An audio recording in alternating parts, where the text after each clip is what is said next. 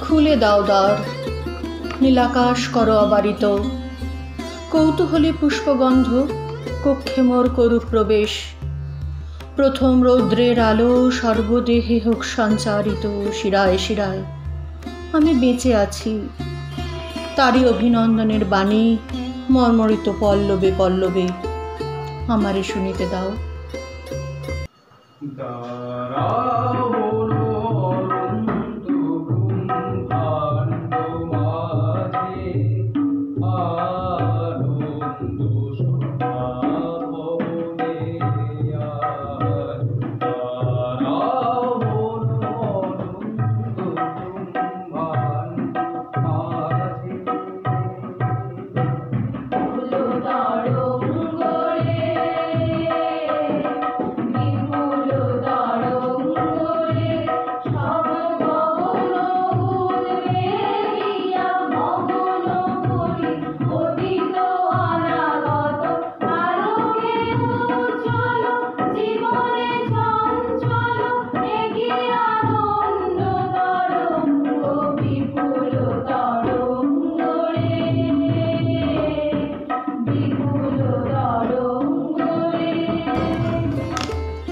পঁচিশে বৈশাখ, কবিগুরুর জন্মদিন।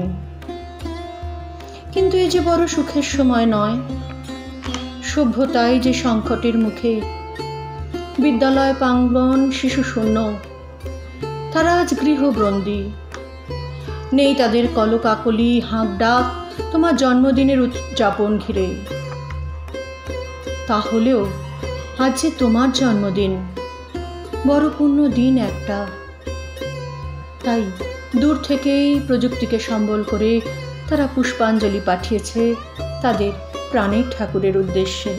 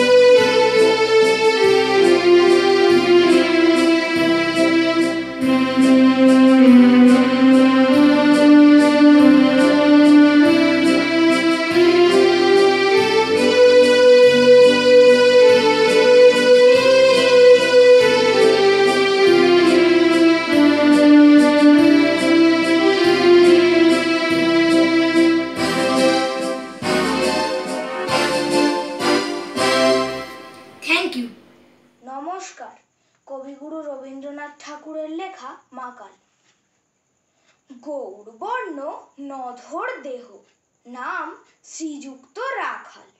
জন্ম তাহার হয়েছিল সেই যে বছর আকাল। গুরু মশাই বলেন তারে, বুদ্ধি যে নেই একেবারে দ্বিতীয় ভাগ করতে সারা ছ মাস ধরে নাকাল রেগে মেগে বলেন, বাঁদর, নাম দিনু তোর মাকাল নামটা শুনে ভাবলে প্রথম বাঁকিয়ে যুগল ভুরু। তারপর সে বাড়ি এসে নৃত্য করলে শুরু। হঠাৎ ছেলের মাতন দেখি, সবাই তাকে শুধায়, এ কি? সকলকে সে জানিয়ে দিল, নাম দিয়েছেন গুরু। নতুন নামের উৎসাহে তাই বক্ষ দুরু দুরু। কোলের পরে বসিয়ে দাদা বললে, কানে কানে গুরু মশাই গাল দিয়েছেন। বুঝিস নি, তার মানে? রাখাল বলে, কখনো না। মা যে আমায় বলেন শোনা সেটা তো গাল নয়। সে কথা পাড়ার সবাই জানে। আচ্ছা তোমায় দেখিয়ে দেব। চলো তো এইখানে। টেনে নিয়ে গেল তাকে। পুকুর পাড়ের কাছে। বেড়ার পরে লতায় যেথা মাকাল ফুলে আছে। বললে, দাদা, সত্যি বলো, সোনার চেয়ে মন্দ হলো। তুমি শেষে বলতে কি চাও? গাল ফলেছে গাছে। মাকাল আমি, বলে রাখাল দু হাত তুলে নাচে। দোয়াত কলম নিয়ে ছোটে, খেলতে নাই চায়। লেখা পড়ায় মন দেখে মা অবাক হয়ে যায়। খাওয়ার বেলায় অবশেষে দেখে ছেলের কাণ্ড এসে। মেঝের পরে ঝুঁকে পড়ে খাতার পাতাটায় লাইন টেনে লিখছে শুধু, মাকাল চন্দ্র রায়। নমস্কার।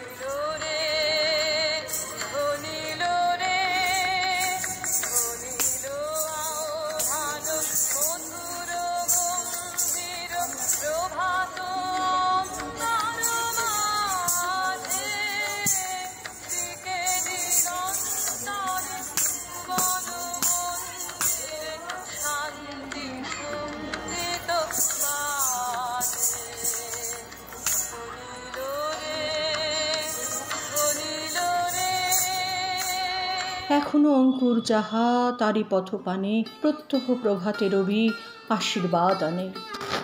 সে সময় শরীর তার সুস্থ ছিল না। কিছুদিন থেকেই লন্ডনে গিয়ে চিকিৎসা করানোর জন্য আত্মীয়দের তাগিদ ছিল।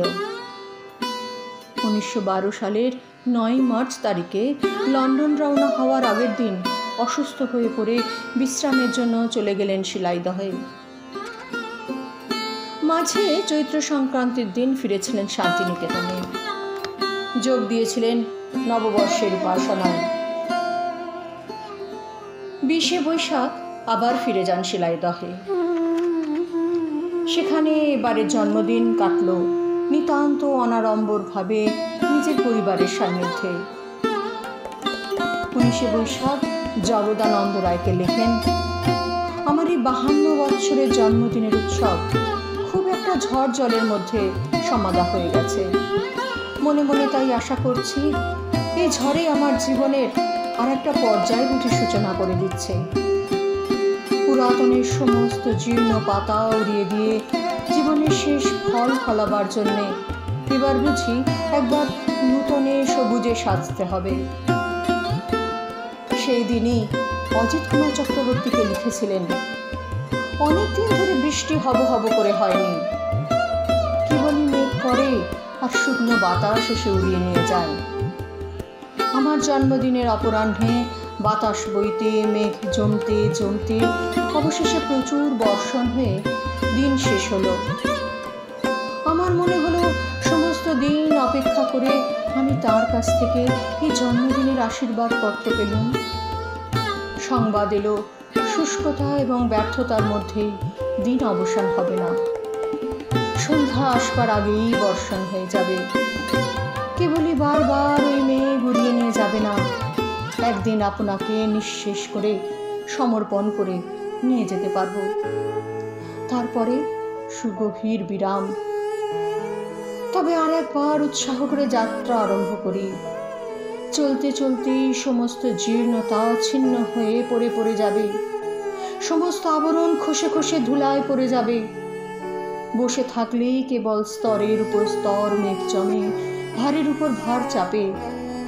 অতএব চললুম মনটাকে এই পৃথিবীর ঘেঁষাঘেঁষির মধ্যে দিয়ে একবার টেনে নিয়ে যাই, তাকে তীর্থে তীর্থে স্নান করিয়ে নিয়ে আসি। এবার ক্ষয় করবার অভিযানে যাত্রা করি। চলতে চলতে স্থূলতা আমার যাক যেটুকু আমার বিশুদ্ধ সত্য, তাই মুক্ত হয়ে বেরিয়ে পড়ুক। এই জীবনের শেষে গিয়ে যখন থামতে হবে, সামনে তখন যেন পূর্ণতা থেকে দেখতে পাই, সত্যের মুখোমুখি দাঁড়াতে পারি। অন্তরে, বাইরে, সে ভালো, মন্দ, স্পষ্ট, অস্পষ্ট, খ্যাত, অখ্যাত, ব্যর্থ, চরিতার্থের, জটিল, সম্মিশ্রণের মধ্য থেকে, যে আমার তোমাদের শ্রদ্ধায়, তোমাদের ভালোবাসার, তোমাদের ক্ষমায় আজ প্রতিফলিত।